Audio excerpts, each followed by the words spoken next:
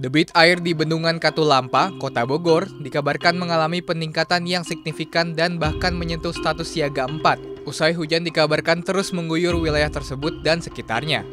Kondisi ini berubah drastis dibandingkan empat bulan sebelumnya, di mana Bendungan Katulampa sempat menyentuh angka terendah yakni 0 cm. Menanggapi kondisi ini, warga sekitar pun diimbau untuk tetap waspada.